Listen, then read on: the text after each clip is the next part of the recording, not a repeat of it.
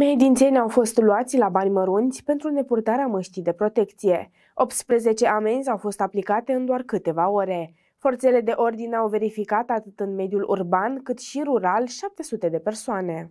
Pe fondul numărului crescut de îmbolnăviri cu COVID-19, oamenii legii au verificat în doar câteva ore 700 de mehedințeni, dar nici magazinele nu au fost uitate de către polițiști, efectuând verificări și în incinta acestora. Amenzile nu au lipsit nici de această dată, având o valoare totală de peste 5.000 de lei.